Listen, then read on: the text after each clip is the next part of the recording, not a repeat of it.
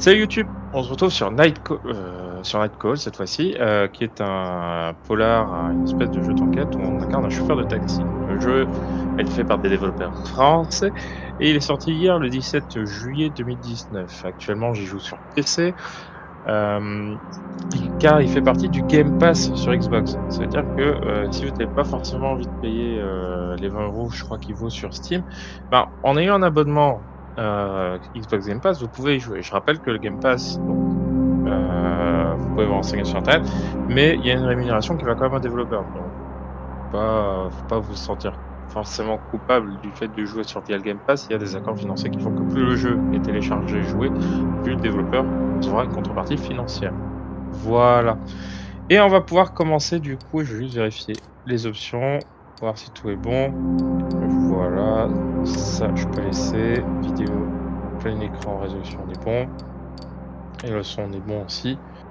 Donc, nouvelle partie.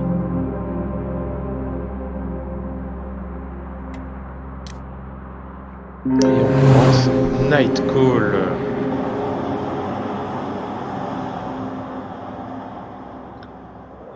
J'ai vu un petit peu hein, ce que c'était. Euh, ah, il y a plusieurs enquêtes. Il y a le juge. Euh, proprio. Les victimes n'ont pas de suite. Euh, hein. Et je démarre en sélectionnant aléatoirement. Ah bah ouais, c'est mieux. C'est mieux que je sache pas ce que c'est. Mais ça, c'est quoi? Jeu démarre en sélectionnant. Non, non. Voilà. Mode de difficulté. Histoire, davantage de temps et d'argent, l'enquête sera plus simple à résoudre, parfait pour profiter de l'histoire. Pour une expérience d'histoire trop difficile, et moins de temps et d'argent, l'enquête sera plus difficile, une expérience plus difficile et exigeante. On va jouer en équilibré. Et on va voir ce que ça donne. J'avais pas du tout lancé le jeu, hein, personnellement. C'est juste, j'ai vu, euh, ne pas le citer, Mister MV qui jouait. Euh... Donc voilà. Et ça m'a donné envie de le faire.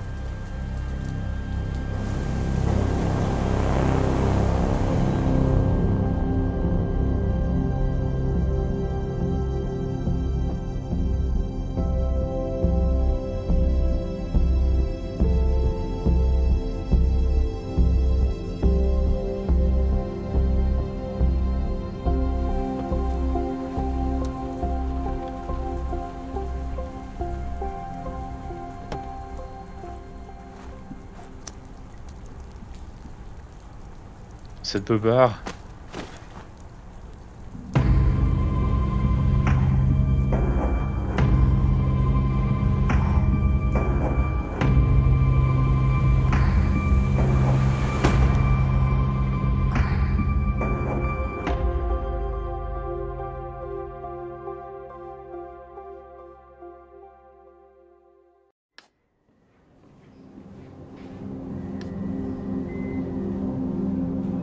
Entendez Monsieur, est-ce que vous m'entendez Ou est-ce que vous voulez que je parle plus fort Euh, c'est bon, hein. C'est bon, c'est bon. Monsieur, vous venez de passer deux semaines dans le coma.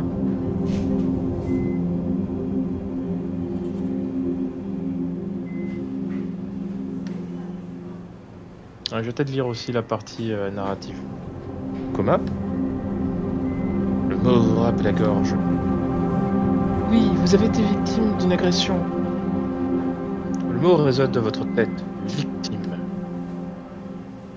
Vous avez entendu parler du tueur en série qui sévit en ce moment à Paris? Vous sentez quelque chose qui remonte depuis votre estomac? Le juge, comme l'appelle la police, vous a attaqué. La balle a touché votre foie et en temps normal, vous auriez dû y rester.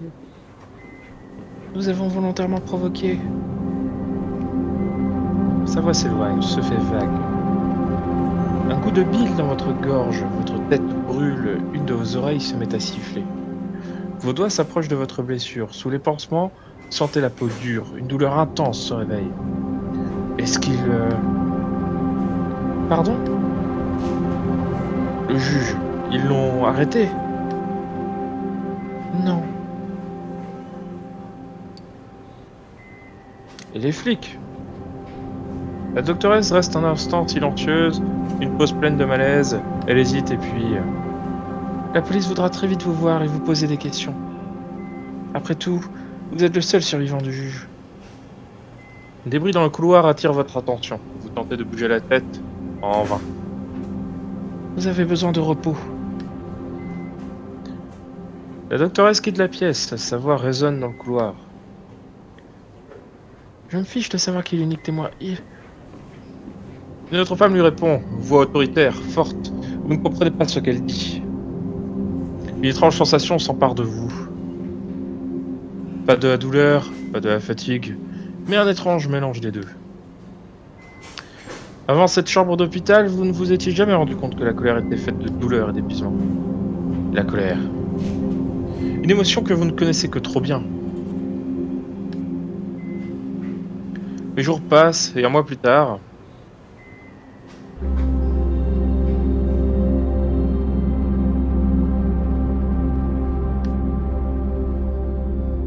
Bon, écoute, je suis embêté. Très embêté même. Une migraine puissante vous cisaille les tempes. C'est votre première nuit derrière le volant depuis... euh, Depuis l'attaque. Tu m'écoutes? Vous observez le visage de votre patron dans le rétroviseur. Désolé. J'ai juste envie de reprendre ma routine, de me vider la tête, de ne plus penser à tout ça. Scruts de votre visage, ils tentent de déchiffrer vos pensées? Je sais que je m'inquiète pour toi, hein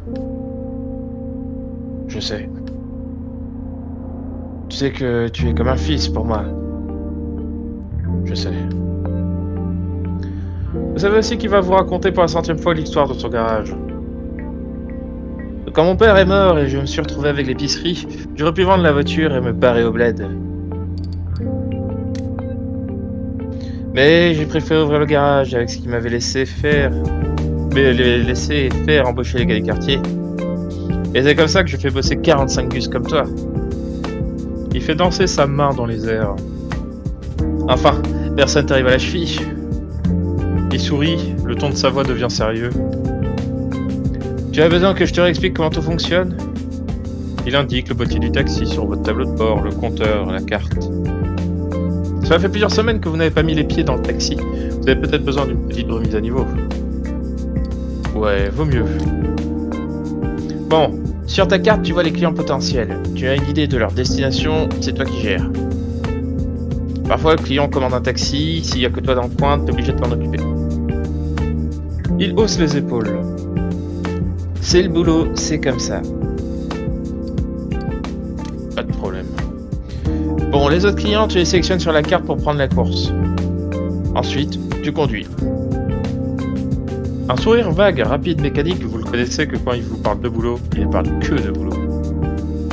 Quand ton service est terminé, on fait les comptes et... euh, il reste un moment suspendu comme s'il cherchait autre chose.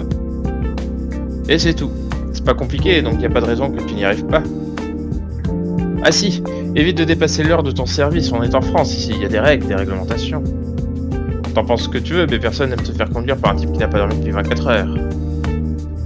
Il détourne la tête, quelque chose le dérange depuis tout à l'heure. Bref, t'as pigé, je sais que tu vas faire du bon boulot. Qu'est-ce qu'il y a? Votre patron reste un moment bloqué, comme s'il hésitait à ouvrir son cœur, et puis... Je crois que t'aurais pas dû revenir. Le meurtrier court toujours et on pense qu'il va revenir. Pour toi. Possible. Votre patron se redresse légèrement, vous sentez qu'il se contrôle, qu'il s'empêche de paniquer. Peut-être qu'on lui a conseillé de ne pas en faire trop. Il soutient votre regard, puis détourne la tête. Tu sais, je peux te faire bosser deux jours, ou bien en banlieue, loin de tout ça. Vous hochez la tête négativement. T'inquiète pas. Bref, euh, bref, je vais te laisser. Désolé, hein, je vais essayer de gérer les voix, mais c'est compliqué. Et chaque minute que je passe dans ton taxi, tu minutes perdu pour moi. Il vous lance un sourire un peu moqueur, un peu sérieux. Bonne nuit. Pareil, euh, bon courage. Vous savez qu'il va passer le reste de la nuit à gérer les problèmes avec les chauffeurs. Vous demandez quand et comment cet homme arrive à dormir. Votre patron vous la portière et sort du taxi. Vous le suivez du regard, il traverse la rue et rentre dans le central. Quelques collègues vont et viennent, les taxis sortent, se garent, repartent. Tous vous ignorent, consciemment, inconsciemment. Vous êtes marqué. Vous attendez un instant, puis vous faites tourner la clé dans le contact. Le bruit du moteur vient vous châter les vertèbres. La sensation vous a manqué plus que vous n'auriez pu le décrire. Votre service commence, votre vie reprend. Malgré l'attaque. Malgré tout.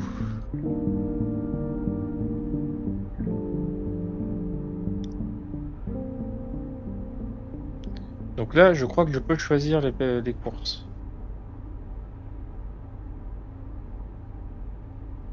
Ah. Bon, on va aller prendre celui-là.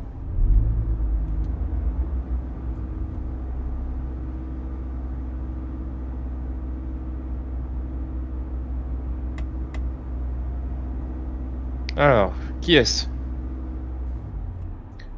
Eh ami, tu peux me dépanner? Va essayer pour un kilomètre. La portière s'ouvre sur Hervé, un sans-abri comme il en existe des centaines à Paris. Vous vous connaissez depuis plusieurs années, il lui arrive de vous demander de l'aide en l'amenant quelque part. Comme à son habitude, il vous salue discrètement, il semble toujours sur le qui-vive. Eh non, pote, c'est un roule-boule il a un étrange tic de langage dont vous n'avez jamais compris l'origine. Vous démarrez. Derrière vous, le client sifflote un drôle d'air. Il semble plutôt enjoué. Ça a l'air d'aller. Euh, ouais, ouais, merci. Les jours où tout va bien, tu sais, ouais. T'as bien bouffé, tes potes sont là pour t'aider, t'as pas froid. Il vous lance un sourire. Et puis, et puis, tu sais, t'apprends des bonnes nouvelles. Ah ouais? Ouais, euh, des nouvelles qui font plaisir à entendre. Bah, Vas-y, partage. Ah, c'est mon ex-femme, elle vient de se remarier, ouais. Une belle histoire d'amour et tout, comme on aime. C'est bien pour elle. Il fait claquer sa langue, ses yeux roulent un instant. Ouais, c'est bien, elle mérite d'être heureuse. Dans le rétroviseur, vous apercevez le visage de votre client qui se referme, lentement, comme s'il réalisait que maintenant tout, euh, ce qu'il venait de dire. Soudain, entre ses dents, il siffle un mot. Vite Vous levez la tête. Pute? Quoi? Euh, T'as dit pute, non? Votre client a un petit sourire. Non, t'inquiète, je pensais à un autre truc. Soudain, Hervé ouvre la portière du taxi. Hé, tu peux t'arrêter là, je veux pas te causer d'ennui. Les mecs qui vivent dans ce squat sont un peu tendus, vu. Vous garez le véhicule et Hervé ouvre la portière. Bonne soirée, soirée, et encore merci ici. Il vous lance un sourire. L'instant d'après, Hervé a disparu à l'intérieur d'un bâtiment recouvert de graffiti. Son imposante façade art déco vous hypnotise un instant. Et puis vous redémarrez. Ah, cet escroc, il nous a rien payé. Euh, on va aller voir lui, puisqu'il est à côté. Il tient 23h10.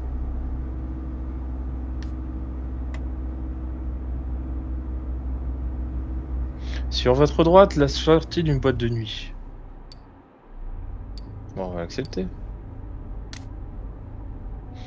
Vous vous garez sur le trottoir pour récupérer le client qui a commandé un taxi. Vous l'apercevez, il est encerclé par 5, peut-être 6 flics, ça vous rappelle les souvenirs. De temps en temps, vous entendez la voix grave et lourde d'un policier. Les flics s'écartent, votre client apparaît, il vient vers vous et rentre dans le taxi. La porte a bien claqué, il lâche... Euh... Putain, fils de pute il vous donne son adresse et vous démarrez. Le client fixe la route qui défile comme pour se calmer. Vous jetez un œil dans le rétroviseur. Ça va euh, Ouais, ouais. Il a se fait toucher maintenant, ils ont trop peur qu'on se fasse sauter.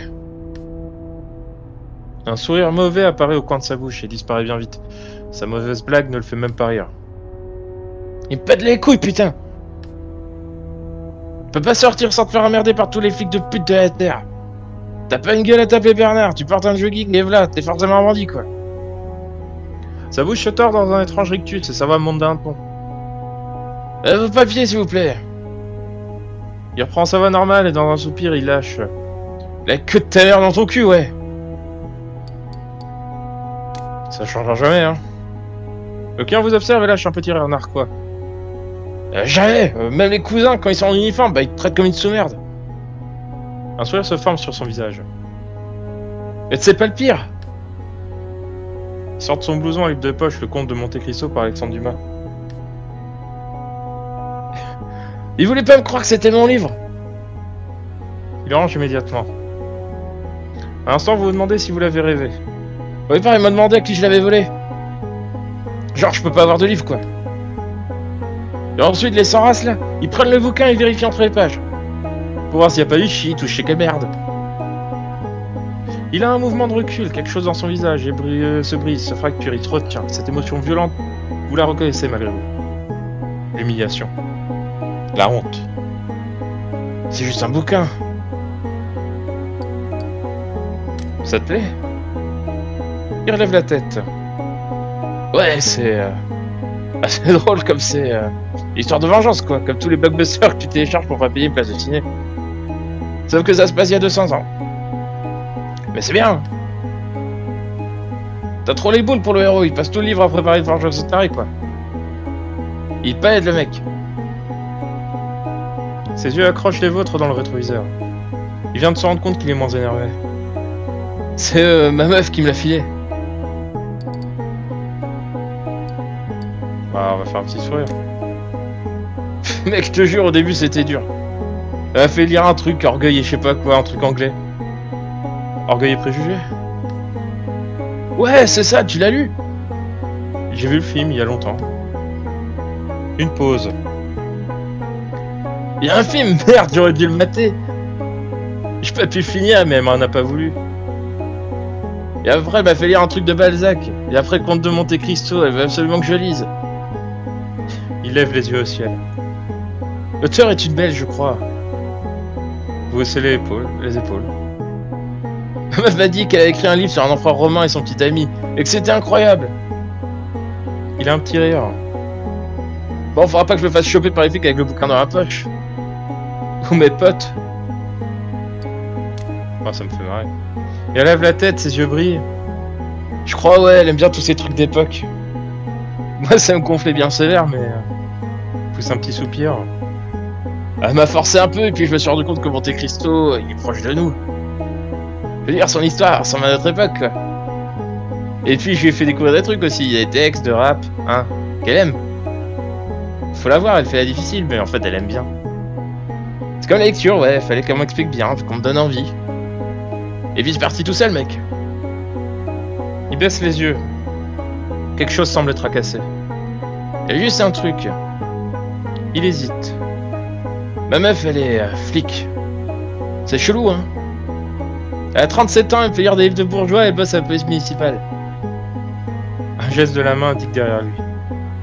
Et je viens de chez elle, là. J'ai jamais vu une meuf comme ça, mec. Elle me rend tellement fou. Est... euh, Il finit pas sa phrase. Vous vous garez devant l'adresse donnée par client. Il pousse un soupir.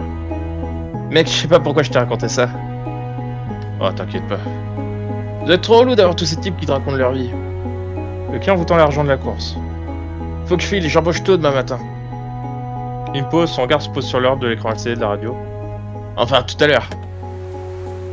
L'instant d'après, il a disparu. Ah, il a pas laissé de pourboire. Cadet. La portière s'ouvre brusquement et une femme s'installe à l'arrière du taxi. Euh, Bonne soirée. Vous vous figez. C'est l'une des flics qui s'occupe de l'enquête du juge. Elle vous sourit, sa voix grince, vous l'avez déjà vu à l'hôpital, déjà là, quelque chose vous avait agacé. C'est c'est fou quand même. hein. Pendant des semaines, je me disais qu'il y avait un truc louche sur toi, un truc pas net. J'ai fouillé, hein, j'ai creusé, j'ai emmerdé des collègues un peu partout. Parce que je savais que tu nous avais menti.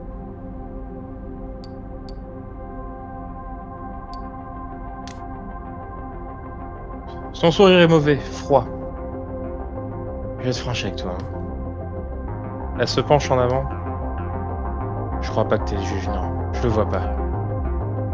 Elle plisse les yeux comme si elle tentait de discerner une forme au loin. T'aurais été jusqu'à te baisser pour nous faire croire que... Non, entre deux, c'est tiré par les cheveux. Elle vous fixe. Mais pas assez pour que mon chef arrête de me bassiner mon profil. Sérieusement, il parle de toi tout le temps. Si je le connaissais pas, je pensais qu'il euh, je pensais qu'il allait me taper le gueule.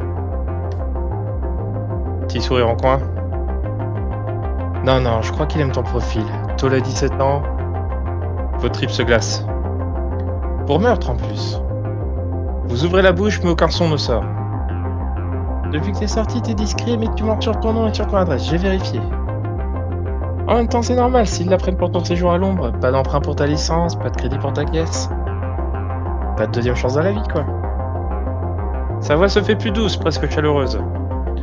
Moi, j'aime les mecs qui veulent une deuxième chance. Non, j'aime les mecs qui se battent pour une deuxième chance. Bref, les mecs qui vont bosser pour moi. Elle se penche en avant, les yeux de félin brillants se rapprochent. Mon boss veut aller voir le procureur avec un prénom, un nom, des preuves. Quoique le connaissant, il est pas hyper chaud pour les preuves. Allez, je vais te filer de la doc, victime, suspect, rapport de légiste, des photos un peu... Euh... Elle fait mine de vomir. Faut que ça reste privé, entre toi et moi. Interroge, pose des questions, fouille. Bah, j'ai jamais fait ça. Elle hausse les épaules. T'inquiète pas, t'es déjà plus dégourdi que la moitié de la brigade. Et puis oublie pas, je te demande pas d'arrêter le coupable et de me le déposer avec un papier cadeau devant le commissariat. Hein. T'es pas Batman, t'es là pour me remonter des infos. Elle fouille ses poches pendant ce qui semble être une éternité. Tiens, je te file ma carte. Je t'appelle dans 3-4 jours histoire de voir où t'en es. On en discute. De mon côté, si j'ai du nouveau, je te préviens. Sa voix prend une tournure didactique, paternaliste. On dirait qu'elle vous rappelle pour la centième fois une série de recommandations. Te fais pas gueuler, te fais pas arrêter, et c'est pas non plus de te barrer de Paris parce que je connais ta gueule et tes potes. T'es soit une solution, soit un problème, mon pote. Une pause où elle analyse votre visage, vos émotions. S'il faut, j'irai faire chier, tu sais qui. Son sourire est tranchant. Au fait, elle sait que tu as fait de la tôle? Vous faites non de la tête, elle lâche un petit rire. T'as bien géré, mon salaud.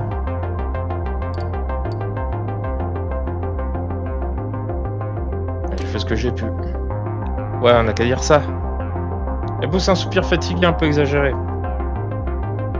Fais pas trop le malin, mec. Hein. Si ça se passe mal, je te dénonce. J'envoie ta photo à mes contacts dans la presse et à tous les fachos de Paris. Ta photo avec ton nom. Ton vrai nom. Il y aura des, des perquisitions pour tes proches, des assignations à résidence, des nuits au poste. Si tu savais comment on est tendu en ce moment avec le procès de l'autre con, vous soupirez, vous savez très bien où elle veut en venir. D'ailleurs, vous faites presque même nom de famille, et vous êtes quasi des frères en fait. Rien à voir avec ce fils de chien. Elle sourit. Laisse-moi te dire qu'avec ta gueule et ton blaze, tu vas être bien reçu.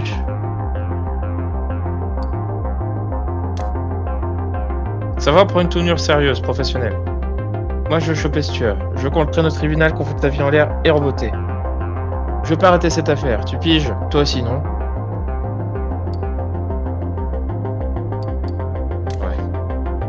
Bah super, on est sur la même longueur d'onde. Et t'as qu'à dire que t'es notre addict, cousin. Il t'a ouvert le bide, t'as vu tes tripes, t'étais dans le coma, bref, t'as de bonnes raisons de lui en vouloir. Elle fronce ses sourcils. Non, moi je crois que tu vas faire ce que je te dis, tu enquêtes, tu poses des questions, tu écoutes les rumeurs, tu me fais un topo sur les suspects. Elle pose sa main sur la portière et se fige.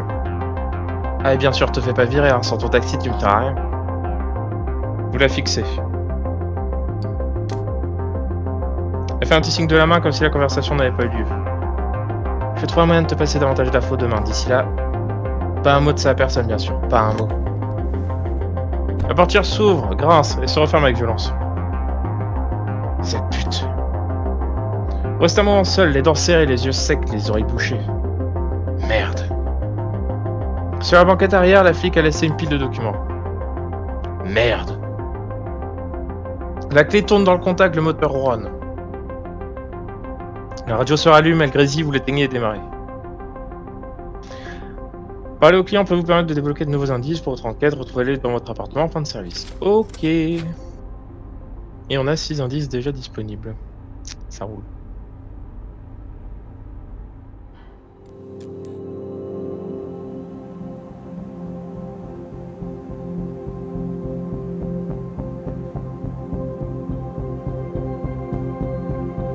Je pense qu'on va arrêter là la première VOD euh, pour YouTube.